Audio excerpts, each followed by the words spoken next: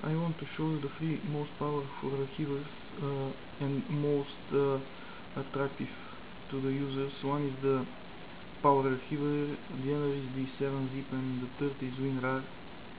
I will start with WinRAR. First one, the WinRAR. I will write RAR a which is 150 megabytes.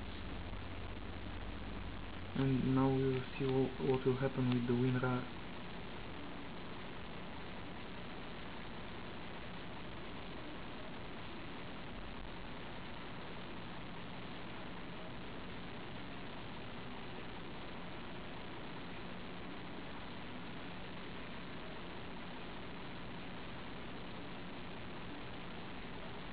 now let's see what happened with the WinRAR it is making it 60 megabytes from 150 that's a good good. Let's see other easy 7 zip. Let's see what he will do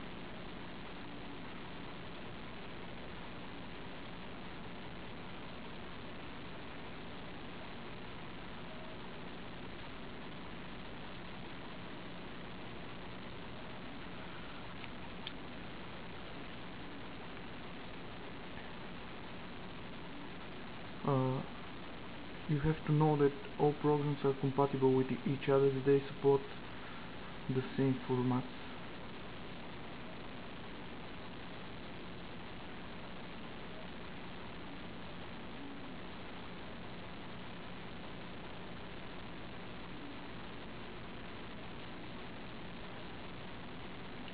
This is the 7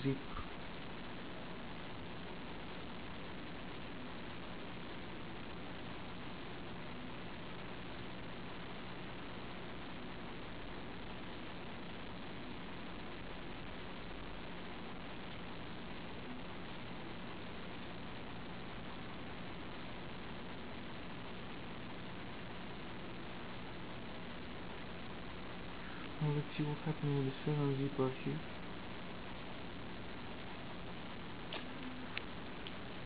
It made it 32 megabytes,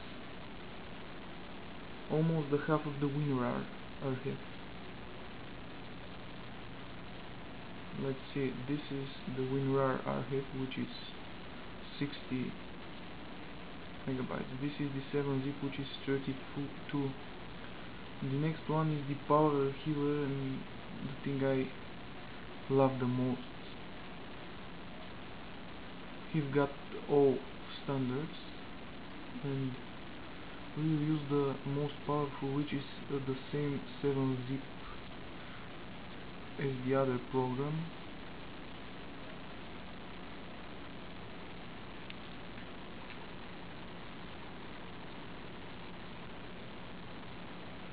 the thing that I find in Power Archiver is that he's very mm, faster. He's faster than the 7-zip and WinRAR and now we will see with how big it made the folder which is 150 megabytes.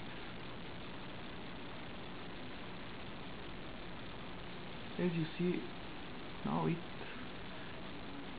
this is the half of the time of the 7-zip archiver which is the better than WinRAR I had to told you for the power archiver that he used all formats, all archives, zip, rar, 7-zip, even cat format.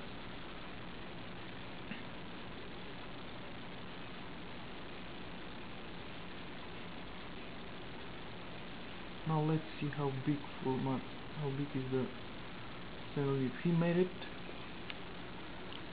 a 33 megabytes almost like the 7-zip which is very good.